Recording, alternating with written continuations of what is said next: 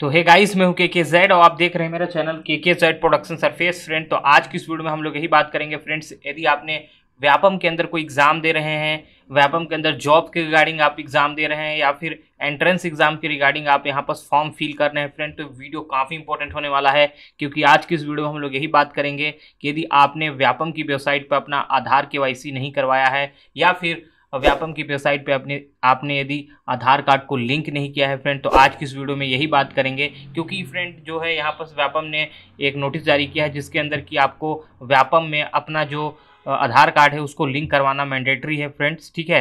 तो आज की इस वीडियो में लोग यही बात करेंगे, किस टाइप से आप जो है कि इसको लिंक करेंगे व्यापम की वेबसाइट के, वेबसाइट में। तो फ्रेंड, इसके दो मेथड्स से दोनों मेथड्स में से किसी भी तरीके से आप यहाँ पर जो है कि लिंक कर सकते हैं। तो इसी के बारे में सब कुछ जानेंगे फ्रेंड। तो यदि फ़र्स्ट टाइम आप हमारे चैनल पर विज़िट किए हैं तो हमारे चैनल को सब्सक्राइब करना ना भूलें। साथ में बेल आइकन को ज़रूर प्रेस करें फ्रेंड। तो चलिए फ्रेंड, वीडियो को स्टार्ट करते हैं।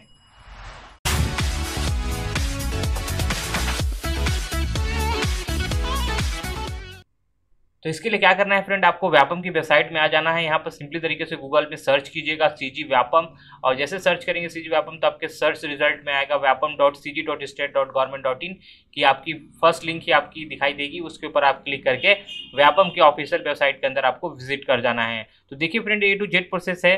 तो यहाँ पर सिंपली तरीके से लिंक करने के लिए आपको क्या करना पड़ेगा? आपको एडमिट कार्ड के सेक्शन पे आना है चाहे किसी भी सेक्शन पे आप जा सकते हैं जहाँ पर आपको लॉगिन करने का ऑप्शन मिल जाए। क्योंकि अभी हाल ही में आपने जो लॉगिन किया होगा यूज़र आईडी और पासवर्ड बनाकर चाहे कोई भी एग्ज़ाम देने दे, दिए होंगे आप व्यापम में जॉब्स के रिगार्डिंग या फिर जो भी व्यापम के जो एंट्रेंस एग्ज़ाम रिगार्डिंग पेपर्स होते हैं P A T P P T P P PPT PPHT ठीक है जो भी एग्ज़ाम होते हैं प्री एमसीए बीएससी नर्सिंग तो यहाँ पर फ्रेंड मैं एडमिट कार्ड के ऊपर ही यहाँ पर क्लिक करूँगा। और जैसे क्लिक करूँगा फ्रेंड, जैसे कि मैं यहाँ पास कोई भी एक एग्ज़ाम के ऊपर क्लिक करूँगा तो लॉगिन पैनल आपका आ जाएगा। तो मैं सिंपली तरीके से यहाँ पर जो है कि फ़र्स्ट वाले लिंक पे ही क्लिक करूँगा, क्योंकि मुझे अपने प्रोफ़ाइल के अंदर विज़िट करना है। तो देखिए फ्रेंड, यहाँ पास आ चुका है आपका enter your registered mobile number. तो आपको जैसे आप अपने प्रोफ़ाइल के अंदर विज़िट करते थे मोबाइल नंबर डालकर और पासवर्ड डालकर, वैसे ही आपको लॉगिन करना पड़ेगा।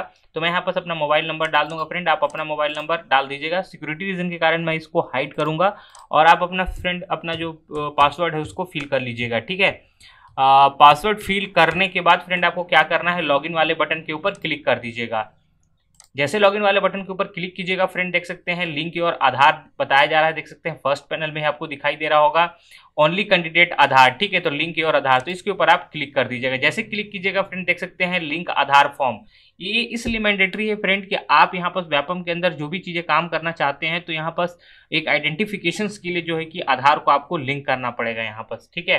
तो देखिए, दो मेथड है फ्रेंड एक तो आप verify Aadhaar through of biometric device choice centre पे जाकर या फिर जो आपके पास खुद भी मोर्फो या मंत्र डिवाइस है तो आप यहाँ पर इसे सेलेक्ट करके आप अपना फिंगरप्रिंट ऐड करके भी ऑथेंटिकेट कर सकते हैं मीन्स की केवाईसी कर सकते हैं। अदरवाइज़ आपको, आपके आधार में यदि कोई मोबाइल नंबर रजिस्टर्ड है तो वहाँ पास ओटीपी जाएगा। फ्रेंड इसके द्वारा भी आप जो है कि इसे वैलिडेट कर सकते हैं। तो मैं अपने केस में फ्रेंड यहाँ पर सिंपली तरीके से मोबाइल बेस्ड चूज़ करूँगा।